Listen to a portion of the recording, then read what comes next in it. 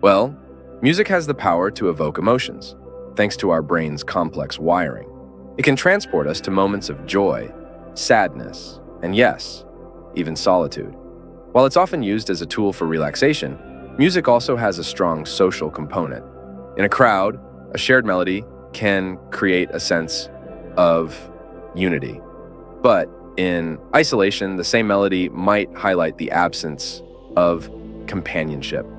In our hyper-connected world, we're paradoxically finding ourselves more alone than ever. And with a playlist just a click away, it's easy to fall into the trap of using music as a substitute for genuine human interaction.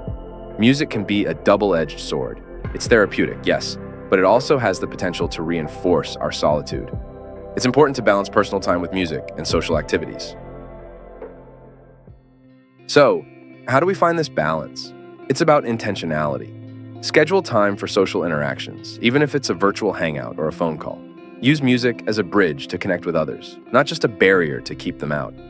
Remember, solitude can be a gift, a moment to recharge and reflect. But don't let it become a wall.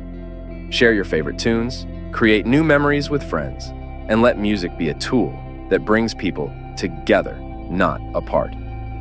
Next time you press play on that relaxing track, ask yourself Is this solitude by choice, or am I masking my need for connection? Let music be your companion, but not your only one.